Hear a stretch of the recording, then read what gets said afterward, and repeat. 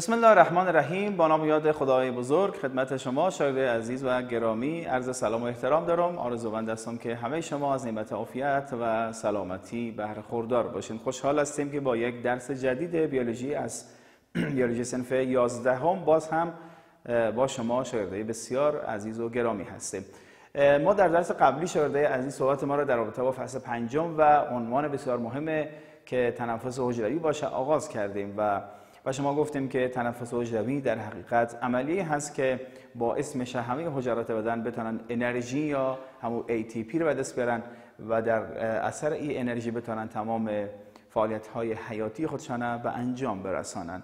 در حقیقت حیات یک حجره وابسته به انرژی هست و این انرژی از طریق عملیه تنفس حجروی می‌تونه که حاصل شود. و گفتیم در تنفس حجروی امکان داره که بعض وقت اکسیژن موجود باشه که در این حالت aerobic میگیمش یا هوازی و نتیجهش میشه که از یک مولکول گلوکوز 38 مولکول ATP به دست خواهد آمد همون انرژی باشه. انرژی بیولوژیکی.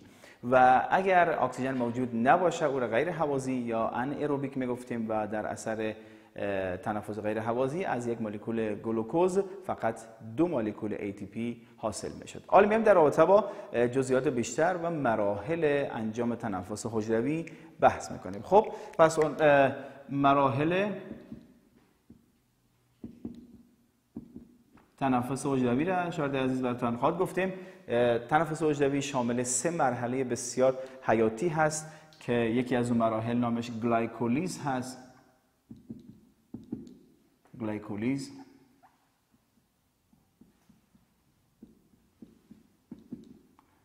و مرحله بعد از گلایکولیز دوران کربس هست.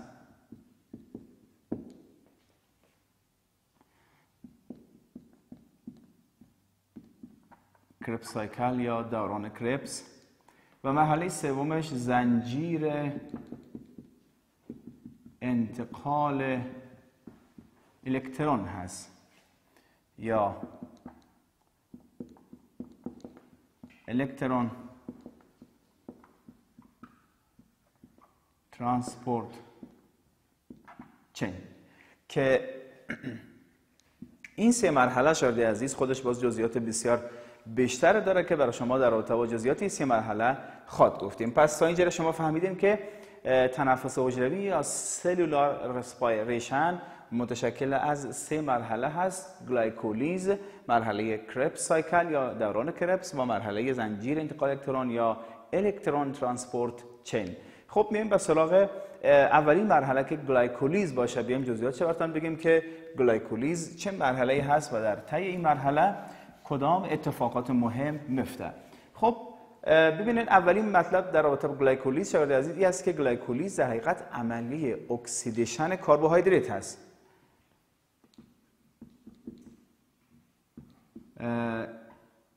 گلایکولیز اولین نکتهشی است که این مرحله مرحله oxidation کربوهیدرات هست.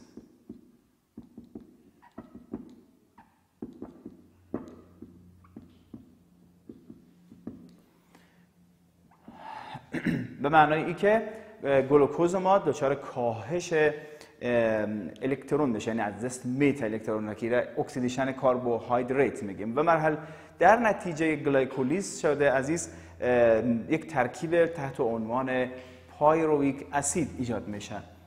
پس نشان می‌کنیم در اثر انجام گلایکولیز چیزی که به دست میاد یک ترکیب است به نام pyruvic acid.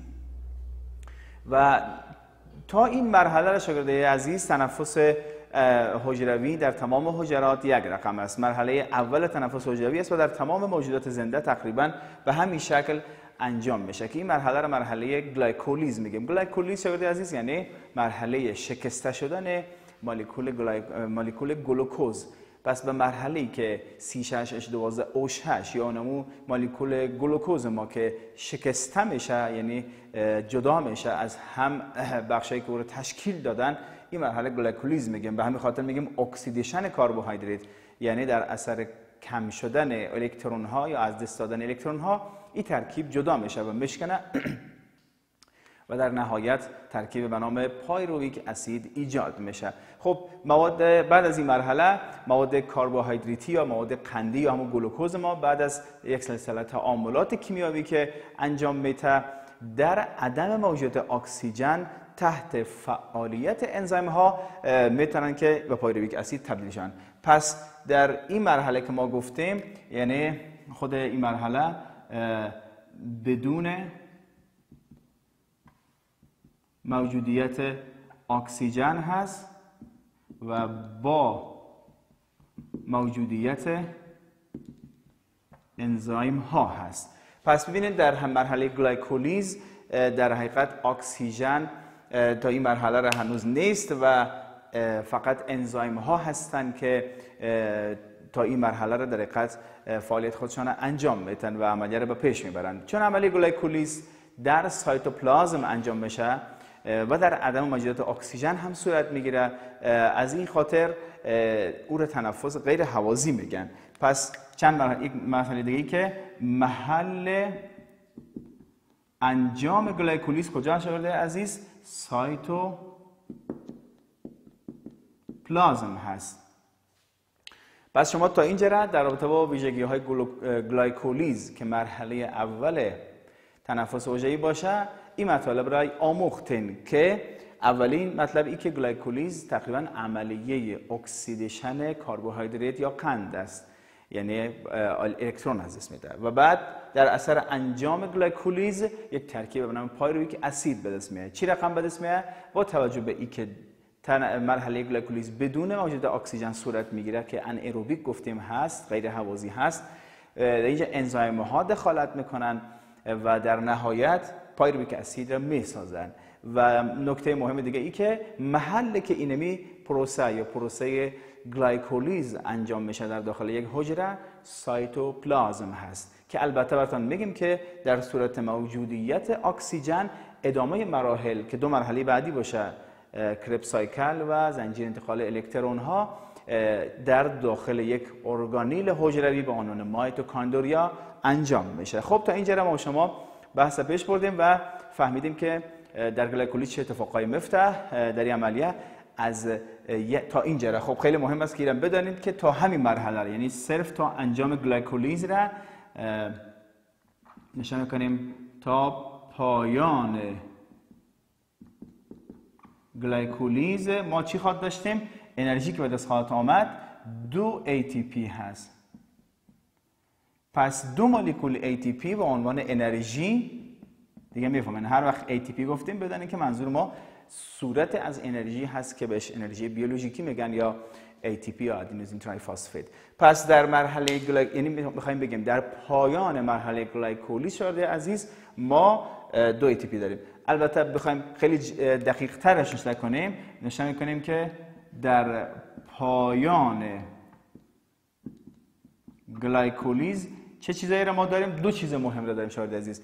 اولین چیزی که داریم ترکیبی است به نام pyruvic acid و دومین چیزی که داریم نشان می‌کنیم دو مالیکول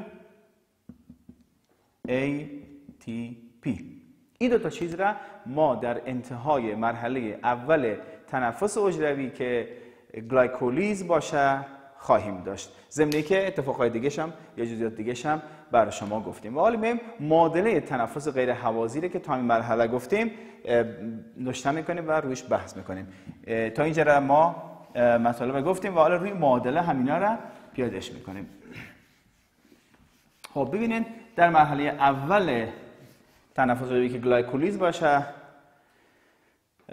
گفتیم این مرحله در سایتوپلازم انجام میشه و از طرف بدون اکسیژن انجام میشه پس در اینجا ما گلوکوز خواد داشتیم. دقت بکنیم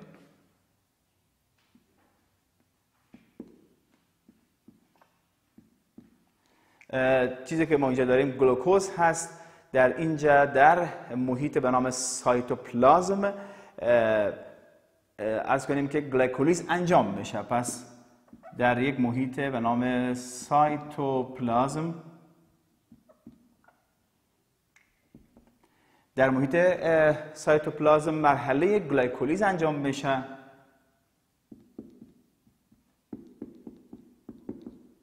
و در نهایتش بر ما دو مولکول دو مولکول پایرویک اسید به اضافه دو مولکول هم ATP میده. دو مولکول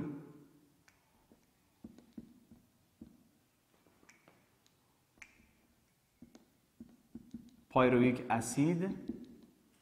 جمع دو مولکول ATP اینجا نشان می‌کنیم که داخل کادر بیاد توجه کنید یه دفعه دیگه برای شما تشریح می‌کنم موضوع را ما در اینجا از یک مولکول یادتون باشه هر جا در فرمول ها یا در معادلات که روی نشته می‌کنیم چه روی تخته چه در کتاب اگر هیچ ضریبی مثلا اینجا وجود نداشتی به معنای یک هست. یعنی در اینجا ما یک مولکول گلوکوز داریم که این مولکول گلوکوز در محیط به نام سایتوپلازم حجره عملیه به نام گلایکولیز را انجام میته و در نتیجهش دو مولکول پایرویک اسید ایجاد میشه. و همچنین به اضافه دو مولکول هم ATP که گفتیم این دو مولکول ATP همون انرژی هست که در مرحله تنفس غیر هوازی در سایتوپلازم به دست می آید خب تا اینجا شما فهمیدین که چه اتفاق میفته حالا این انرژی خب ببینید ما هدف یادتان باشه عزیز هدف اصلی ما برای انجام تنفس حجروی به دست آوردن ATP هست که در اینجا دو ATPش به دست آمد. اما دو مولکول پایرویک اسید چی میشه؟ این دو مولکول پایرویک اسید میرن وارد دوران کربس میشن و همچنین بعد از وارد زنجیر انتقال الکترون میشن. یعنی مواد به دست آمده از Krebs cycle وارد زنجیر انتقال الکترون ها میشن که این مرحله را برای شما می‌تونیم در یک معادله دیگه نشته کنیم که در اینجا. پس ما تا اینجا گفتیم که پایرویک اسید وارد چی میشه عزیز؟ اینی ترکیبی که اینجا نشته کردیم. این ترکیب ترکیب است که باید بره وارد یک مرحله جدید بشه که مرحله اسمش هست کربس. مرحله Krebs cycle یا دوران کربس هست. و بعد محصولات مواد کربس یا دوران کربس وارد مرحله بعد میشه که زنجیر انتقال الکترون باشه. خب پس ما در مرحله بعد چی رو خواهد داشت بگید عزیز؟ اینی تعامل که حالا براتون نشان می‌کنم خواهد داشتیم. دو مولکول پایرویک اسید داریم. توجه بکنید اینجا نشان می‌کنم من. دو مولکول پایرویک اسید که اینجا در وارد مرحله کربس میشه و بعدش هم زنجیر انتقال الکترون ها. بحثش کنیم کربس و electron. transport. چین این دو مرحله را در نظر بگیریم که دو مولکول پایرویک اسید وارد این دو مرحله خواهد شد و در نهایت بر ما چی خواهد داد؟ 6 مولکول اکسیژن 6 مولکول کربن دی اکساید و 38 ATP خب در اینجا نشون که به ما چی خواهد داد؟ 6 مولکول اکسیژن به اضافه 6 مولکول کربن دی اکساید به اضافه 36 مولکول ATP خب یک دفعه دیگه توجه بکنید. البته اینم در نظر داشته باشین که 36 مولکول ATP اگر بخوایم به با میزان کالری بسنجیمش برابر میشه با 2831 کالری. 2831 کالری. خب تشریحات دقت بکنید شاگردای عزیز. ما گفتیم در مرحله گلایکولیز در محیط سایتوپلازم گلوکوز شکسته میشه تبدیل میشه به دو مولکول پایرویک اسید و دو مولکول ATP دو مولکول ATP انرژی است که حاصل شده و بدون تغییر باقی میمانه و مورد استفاده قرار می‌گیره بر بدن. دو مولکول پایرویک اسید وارد دو مرحله بعدی تنفس میشن که عبارت باشه از کربس و زنجیر انتقال الکترون ها و در نهایت امر 6 مولکول اکسیژن به دست میاد. 6 مولکول اسخای می‌کنم اکسیژن. یه باید اصلاح بکنیم. کربن دی اکساید هست و آب هست. اکسیژن نیست. خیلی خوب شد که دقت کردیم و فهمیدیم که چه اتفاقی افتاده. در اینجا 6 مولکول به جای اکسیژن نشان می‌کنیم. آب H2O هست. اصلاح شد. دقت بکنید پس اینجا نشان می‌کنیم. آب به اضافه کربن دی اکساید. بر ما میته که 36 ATP که معادل است با 2831 کالری نهایت چیزی که ما به سوالیم دقت بکنیم ما گفتیم در فرمول اصلی اگه یادتون باشه شاید عزیز گفتیم که از یک مولکول گلوکوز 38 ATP حاصل میشه. حالا 38 ATP چی شد؟ 36 ATP اینجا شد جمع دو ATP هم اینجا شد و نهایتش میشه همون 38 ATP که گفتیم از یک مولکول گلوکوز حاصل میشه. پس ما در اینجا در پایان مرحله چی رو خود داشتیم؟ 38 ATP رو خود داشتیم. اما این از این 38 تا دو تایش در انتهای مرحله گلایکولیز به دست آمد و 36 تا دیگهش در پایان هر دو مرحله کربس و زنجیر انتقال الکترون ها خب شاگردای عزیز درس امروز را یک مرور خواد کردیم. ما در درس امروز آمدیم وارد مراحل تنفس حجروی شدیم. گفتیم تنفس حجروی شامل سه مرحله از گلایکولیز و زنجیر انتقال به ترتیب مرحله گلایکولیز مرحله دوران کربس مرحله زنجیر انتقال الکترون ها. آمدیم وارد گلایکولیز شدیم که گفتیم در مرحله گلایکولیز گلوکوز شکستانده می شود دو پایرویک اسید و دو ATP به دست میاد دو, دو ATP ش انرژی هست که به درد حجره می‌خوره و میمانه و دو پایرویک اسیدش وارد مراحل بعدی میشه که عبارت باشه از دوران کربس و زنجیر انتقال الکترون ها و در نهایت در پایان ما چه خود داشتیم؟ 6 مولکول آب 6 مولکول کربن دی اکساید و 36 ATP داریم. و مجموع ATP های ما میشه 38 تا که 36 جمع دو میشه 38 ATP خب بریم به سراغ بخش پایانی درستان شاید عزیز که کار خانگی امروز باشه.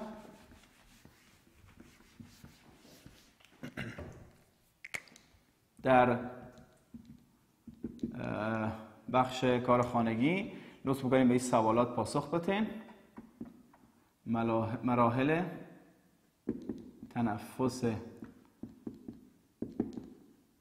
حجروی را بنویسید. سوال دوم. در مرحله گلایکولیز چه اتفاقات میافتد؟ و مرحله در قسمت سوم